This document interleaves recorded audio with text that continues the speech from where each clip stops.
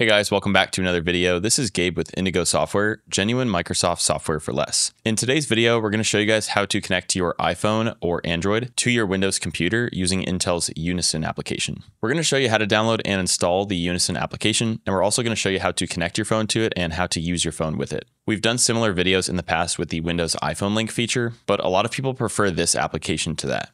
Before we get started with the video, if you guys are interested in purchasing Microsoft Office, Windows 10, Windows 11, Windows Server, remote desktop licenses, or a wide variety of other Microsoft software at a great price, be sure to check out Indigo Software. We'll leave those links down below. So without further ado, let's jump in.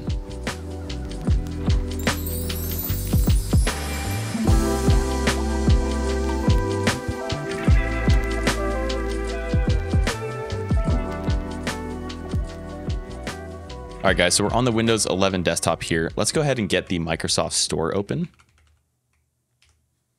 And once we're inside of here, let's just search for Unison. And here we can see Intel Unison is completely free. Let's click Get, and let's go ahead and wait for that to download. All right, from here, I'm gonna click Open. And we need to accept and agree the terms. And then for this, I will select Don't Allow, but this is totally up to you. And for now, we're going to start with adding our phone. So we could also add a tablet, but again, for this tutorial, let's click add your phone. All right, guys, so I'm here on my iPhone. I've still got the Windows computer pulled up and I'll have them showing side by side. Once I'm on my phone here, I'm going to go to the App Store. And once we're in the App Store, we're going to search in the bottom right and we're going to search for Unison.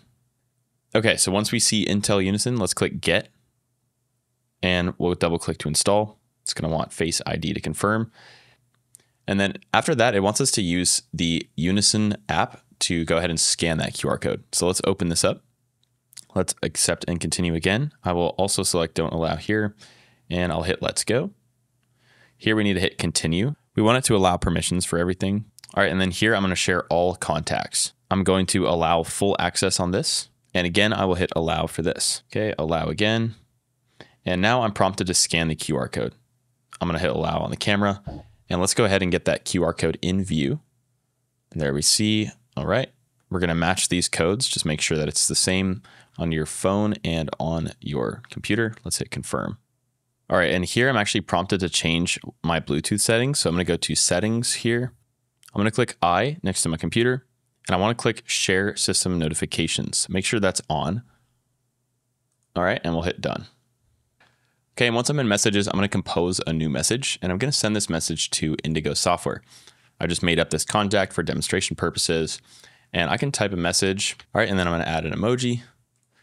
And all within here, I can basically answer my texts or even make a call, and I don't have to actually pick up my phone, which is really nice if you're already in a workflow and you don't wanna have to divert your attention. All right, and then here we have calls where we can go ahead and make calls to our contacts. We also have notifications that will appear and another cool feature of Unison is we have transfer files. So let's say I want to go ahead and get some files over to my phone. I'm going to pull up my file explorer here. And let's say I want this picture on my phone. I'm going to drag and drop. And we'll see it loading here. All right, and then if I go to photos on my phone, my most recent picture, as we can see here, is the one that I just transferred over from my PC. So if I double click this, again, this picture I just transferred. And this is a picture of my dog when he was recording the Indigo software videos for me. Okay, and then lastly, we have access to our phone's gallery where we can see our photos directly from our computer. This one's gonna take a while for me to load, so I won't actually show you guys this now, but just know that we have access to our photo gallery. So again, we have file transfer, gallery, messages, calls, and notifications.